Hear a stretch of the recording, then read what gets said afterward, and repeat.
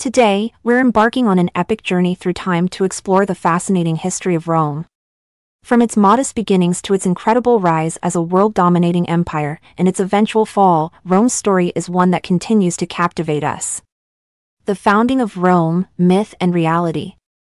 Picture this, it's 753 BC, and two brothers, Romulus and Remus, are squabbling over who gets to name their new city. Legend has it that Romulus won by killing his brother. Talk about taking sibling rivalry to the extreme. And just like that, Rome was born. But let's get real for a second. While this myth is cool, archaeologists have found evidence of settlements in the area dating back to the 10th century BC. So, Rome's true origins might be a bit less dramatic, but no less interesting. For about 250 years, Rome was ruled by kings. But these weren't just any kings, the last few were Etruscans, a neighboring civilization that had a big impact on early Roman culture. They gave Rome its sewers, gladiatorial games, and even the toga. The Roman Republic. In 509 BC, the Romans decided they'd had enough of kings. They booted out the last one, Tarquin the Proud, and established the Roman Republic. Now, don't get too excited, this wasn't exactly democracy as we know it. Power was mostly in the hands of wealthy patricians, but it was a start. During this time, Rome started flexing its muscles. They conquered their Latin neighbors and then set their sights on the rest of Italy. By 265 BC, they controlled the entire Italian peninsula. Not bad for a city that started as a small hill town. The Punic Wars. Rome's next big challenge came from across the Mediterranean, Carthage. These two powerhouses duked it out in three epic conflicts known as the Punic Wars. The second one is particularly famous because of a guy named Hannibal.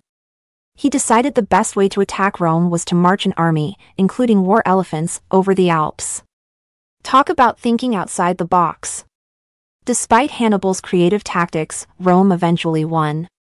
By 146 BC, they had destroyed Carthage and taken control of much of the Mediterranean. Rome was now the big cheese of the ancient world. The Late Republic. As Rome grew, so did its problems. The gap between rich and poor widened, and political violence became common. Powerful generals like Marius, Sulla, and Pompey started throwing their weight around. Enter Julius Caesar. This ambitious general crossed the Rubicon River with his army in 49 BC, sparking a civil war. He came out on top and made himself dictator. But some senators weren't too happy about this and decided to turn Caesar into a human pincushion on the Ides of March, 44 BC. The Roman Empire. After more fighting, Caesar's adopted son Octavian emerged victorious. In 27 BC, he became Rome's first emperor, taking the name Augustus. He was smart enough to keep up the pretense of the Republic while holding all the real power. Smooth move, Augustus. Under Augustus and his successors, Rome entered a period known as the Pax Romana, or Roman peace. For about 200 years, the empire was mostly stable and prosperous. At its peak in the 2nd century AD, it stretched from Britain to Egypt, from Spain to the Middle East. Rome was on top of the world. Imperial highs and lows. Of course, not all emperors were created equal. For every wise Marcus Aurelius, there was a bonkers Caligula who made his horse a senator. Yes, you heard that right, a horse in the Senate.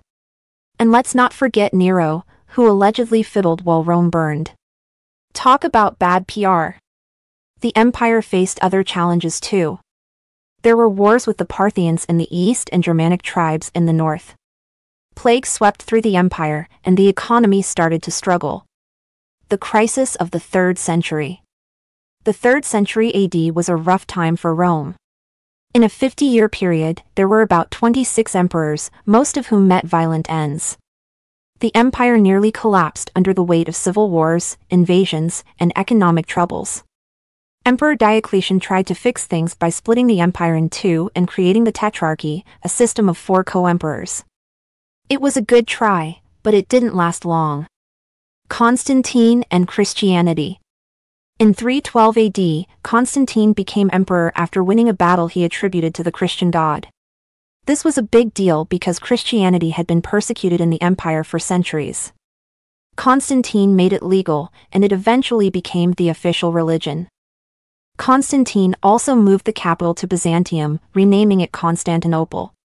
This shift eastward would have big consequences for the future of the empire. The fall of Rome. Despite efforts to keep it together, the Western Roman Empire continued to decline. In 410 AD, Rome itself was sacked by the Visigoths, the first time in 800 years an enemy had taken the city. Finally, in 476 AD, the last Western Roman emperor, ironically named Romulus Augustulus, was deposed by a Germanic chief named Odoacer. This date is traditionally used to mark the fall of the Western Roman Empire.